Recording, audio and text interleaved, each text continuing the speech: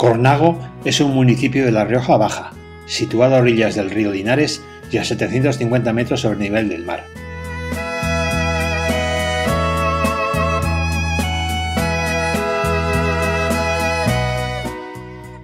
Limita con la provincia de Soria y se enclava dentro de la Sierra de Alcarama.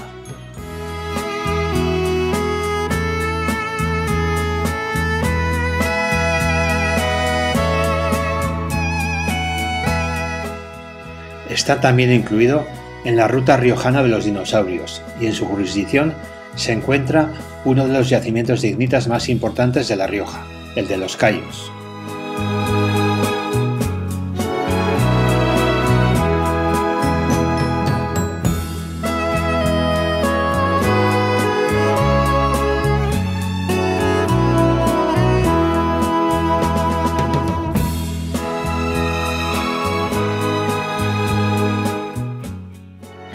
Llegar a Cornago, rebasamos el pueblo y nos dirigimos en primer lugar hacia el mencionado yacimiento de Ignitas de los Cayos, junto al barranco que le da nombre.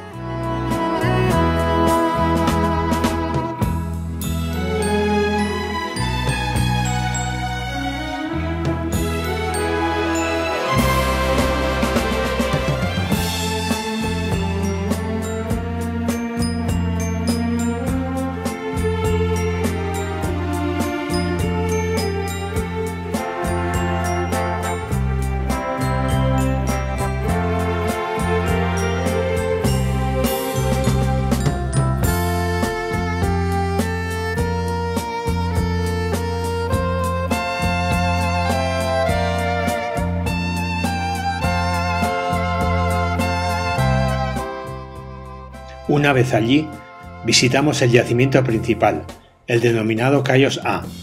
Al comienzo, encontramos algunas huellas bastante deterioradas y una zona de ripples, un característico rizado de la roca originado sobre la arena de la playa hace millones de años.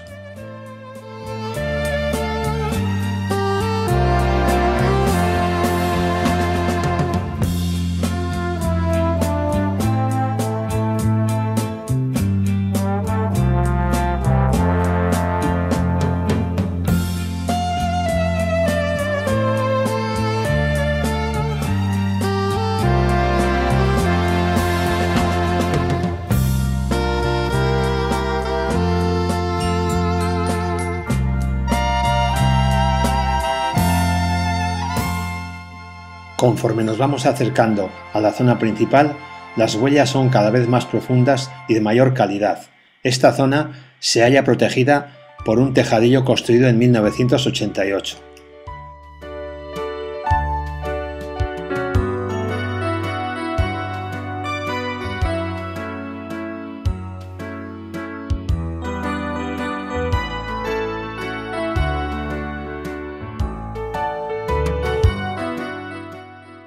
Destaca aquí un rastro de 26 ignitas de tres dedos que oscilan entre los 36 y 45 centímetros de largo y que se conservan en excelente estado. Pertenecen a diferentes dinosaurios carnívoros del Cretácico.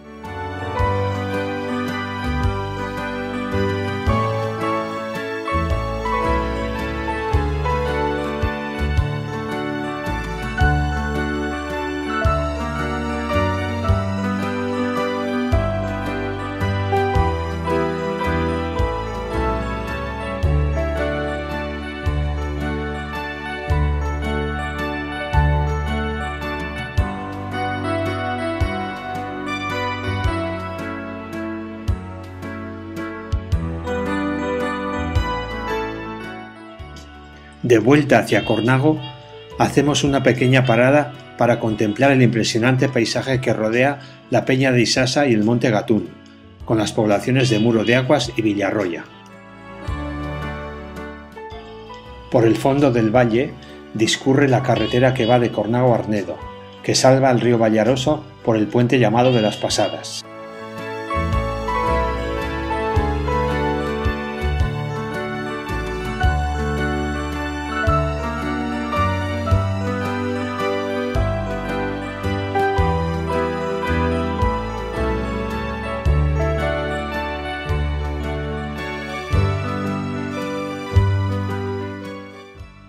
Ya en Cornago y antes de la comida, subimos hasta la zona del castillo para tener una extraordinaria panorámica del caserío cornagués y del bonito pero árido paisaje que lo rodea, compuesto fundamentalmente por plantas que aguantan la sequedad del terreno, como tomillo, romero, ollaga, sisallo, ontina o esparto.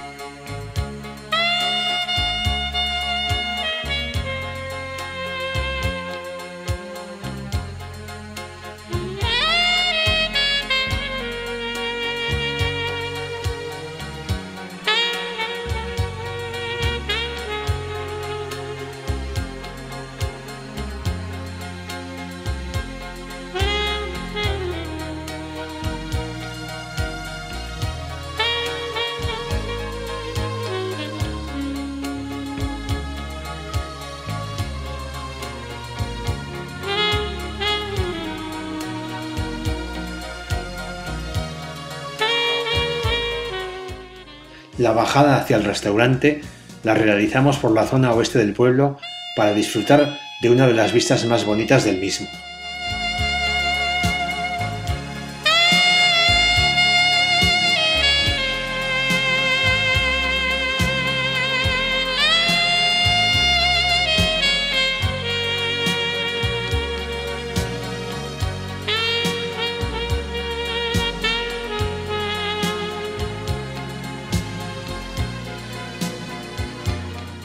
Sobre las 4 de la tarde comenzamos el recorrido por los lugares más interesantes de Cornago. En primer lugar, nos dirigimos hacia el Arco de la Piedad, arco rebajado de lo que pudo ser una de las puertas de la muralla medieval de Cornago. Sobre él, la ermita que le da nombre, dedicada a la Virgen del Rosario.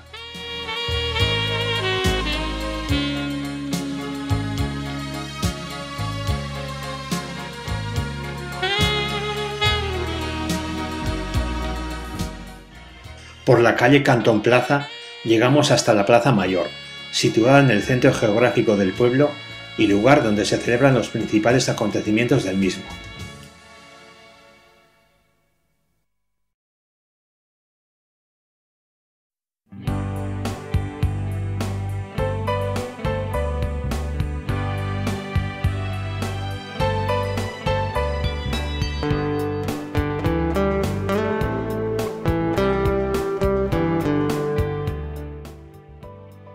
Junto a la Plaza Mayor, en el edificio de las antiguas escuelas, se encuentra el centro de interpretación El Castillo de la Luna. Al llegar, nos recibe la airosa figura de don Álvaro de Luna, señor de Cornago, condestable de Castilla y maestre de Santiago. El centro está dividido en cuatro salas temáticas. La sala 1 está dedicada a la invasión árabe de la península y del Valle del Ebro.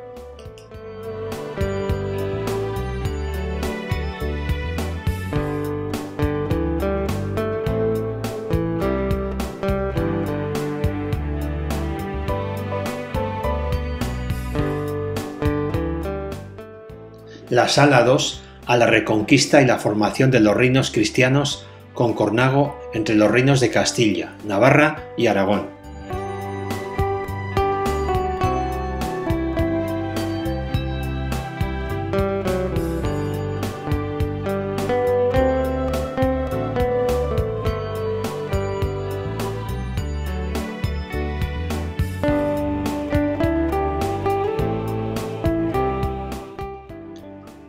Sala 3 a la familia de los Luna, propietarios del castillo de Cornago.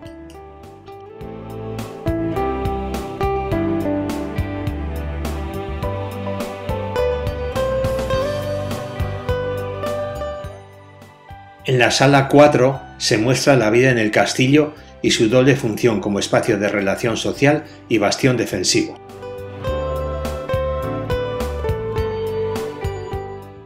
Tras esta visita, comenzamos la ascensión hasta la parte más alta del pueblo, deteniéndonos en primer lugar en la ermita de Santa Catalina.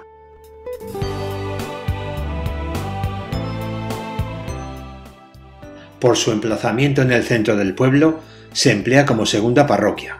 Construida en el siglo XVI, consta de una sola nave, sacristía y coro. Los frescos fueron restaurados en 2001 por el pintor Carlos Corres, natural de Cornago. En el retablo destaca la imagen romanista del siglo XVI de Nuestra Señora de Gracia de Campo Puente.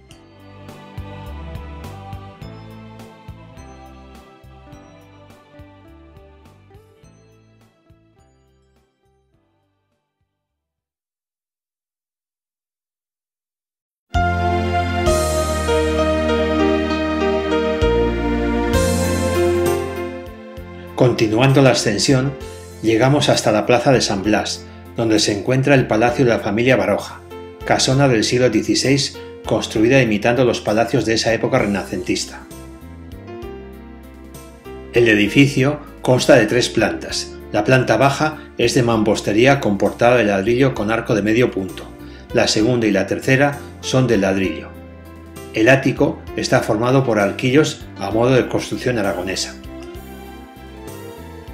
También aquí se encuentra la ermita de San Gil San Blas, construida entre los siglos X y XI y que según algunos se levantó en el lugar que ocupaba la sinagoga del barrio judío de Cornago.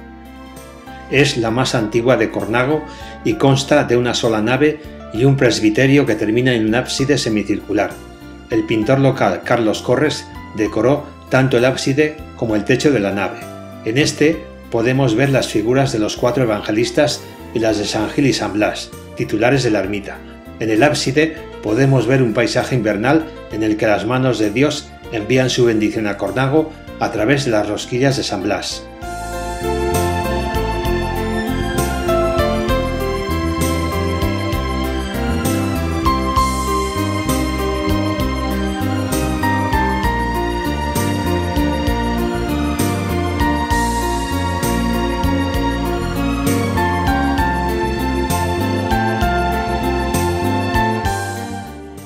Finalmente llegamos a la parte más alta del cerro donde se asienta la iglesia y el castillo.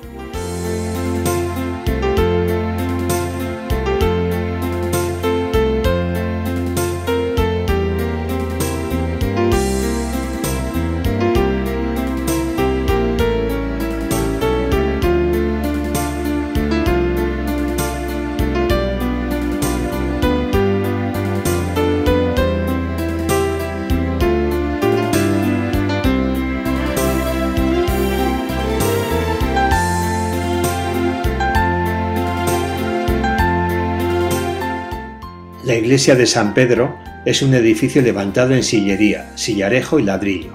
Su construcción se inició en el siglo XV, aunque su mayor parte corresponde al siglo siguiente. Es de una sola nave, con cabecera triangular, coro a los pies y acceso por el lado sur. En su retablo barroco del siglo XVIII destacan las cuatro columnas salomónicas con su abundante decoración de sarmientos, hojas y racimos. En su parte central, la figura de San Pedro, titular del templo, escoltado por las de San Pablo y San Andrés.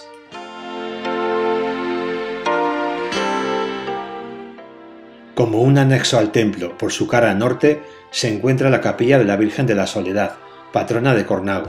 Su techo y paredes están recubiertas de pinturas murales en periodo de restauración.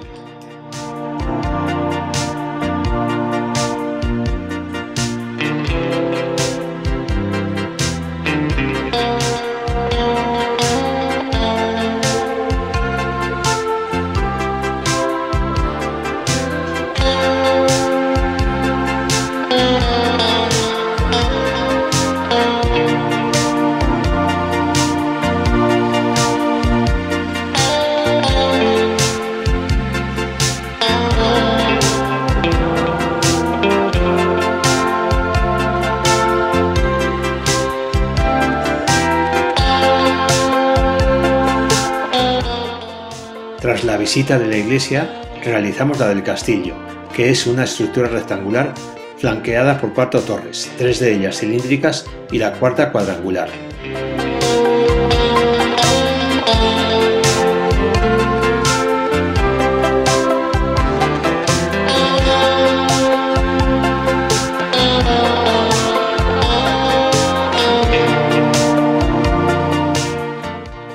El castillo actual pudo construirse a finales del siglo XII o comienzos del XIII. En el siglo XIV, el rey Enrique de Trastamara lo donó a don Juan Martínez de Luna, lo que hizo posible la introducción de esta familia en Cornago y posteriormente la creación del señorío de ese nombre.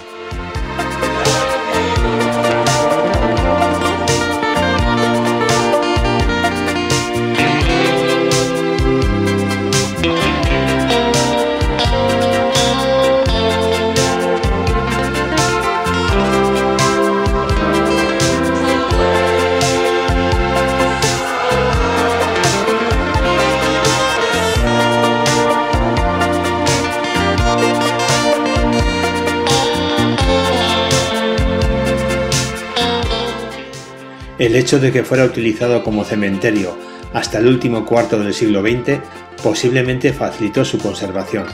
Al terminar esta función, se realizaron labores de desescombro, que sacaron a la luz diferentes tipos de empedrado, un aljibe, un lagar y una bodega.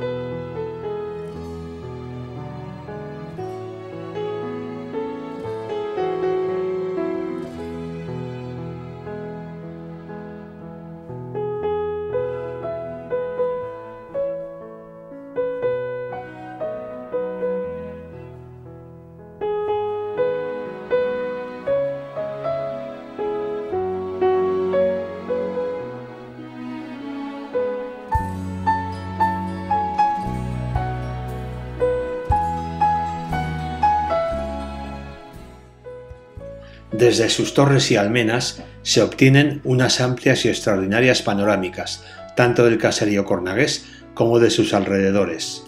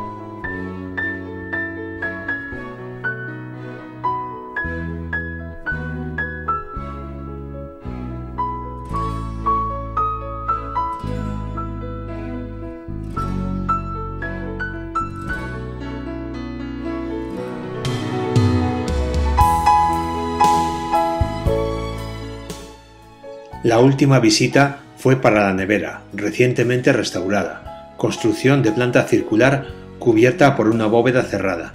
Levantada por los árabes, servía para almacenar la nieve en invierno y poderla utilizar en época estival con fines terapéuticos, conservar alimentos o elaboración de bebidas frías, entre otros.